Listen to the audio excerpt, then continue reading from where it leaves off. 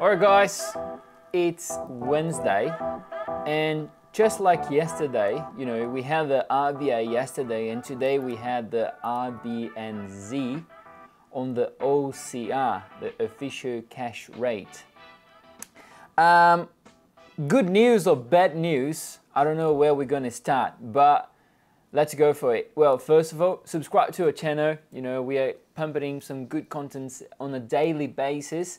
Um, if you haven't participated on my webinar, uh, then luck of you, luck for you that uh, we've recorded the webinar and posted just today. So have a look on the channel and uh, give us a thumbs up on this video um, and comment down below if you have any questions related to the RBNZ or related to any trading aspe aspects that you may have.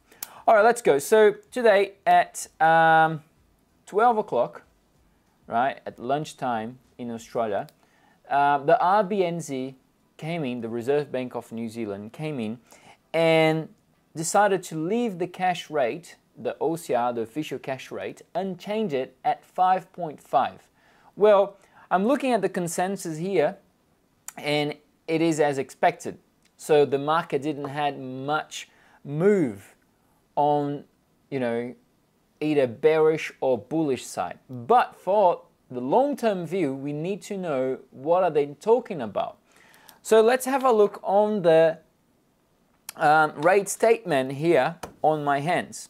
Well, they first starting saying that the Monetary Policy Committee today agreed to hold the official cash rate, the OCR, at 5.5%.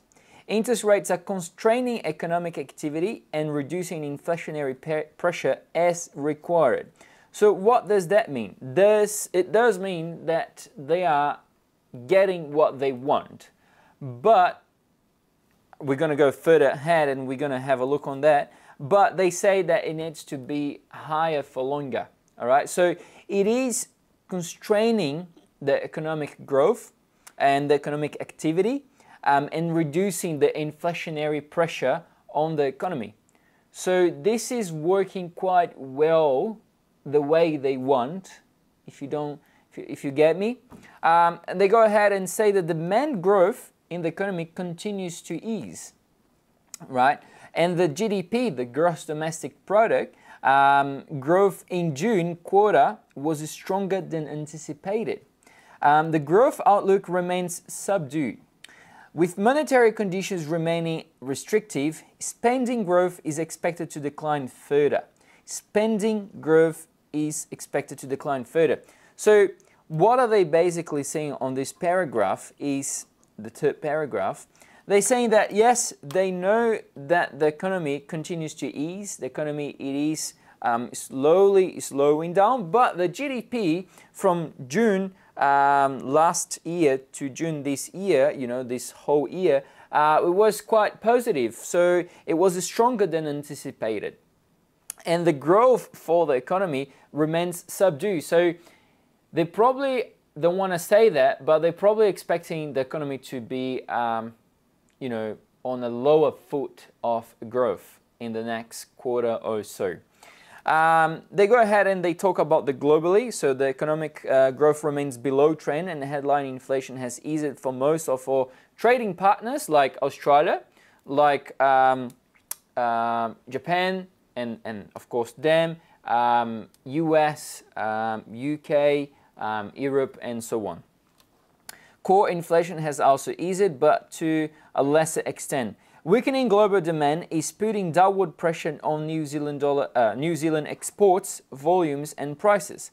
Apart from oil, global import prices have eased. Of course, you know, we can see in the last couple weeks, in the last couple months, oil prices have just rocketed. Um, and there are a few economists around the globe saying that they will can expect another 20% up move. I don't trade commodities. I can't, sorry guys, I can't come here and say for you that this will happen. Not quite sure. Um, but yes, I do sort of understand why the prices are so high. And I have explained already, and I've explained these when I've talked about the Canadian dollar yesterday on my webinar. So have a look on the video. Um, anyways, so in the end, that's the most important paragraph, I would say, the first one and the last one for these rate statements. They say that the committee agreed that the OCR needs to stay at a restrictive level to ensure that annual consumer price inflation returns to 1 to 3% target range and to support maximum sustain sustainability of employment. All right. Most important on here is this part. The committee agreed that the OCR, that basically the rates, needs to stay at a restrictive level to ensure blah blah blah. So they are basically telling us we're not going to cut the rates. It needs to stay at restrictive levels um, at 5.5% or more. So we have, you know, we can already, with them saying this, we can already take off the opinion or maybe, you know, the scenario that the RBNZ would cut the rates this year or anytime sooner. So but when they do cut the rates, then it will be totally different approach to the monetary policy, right?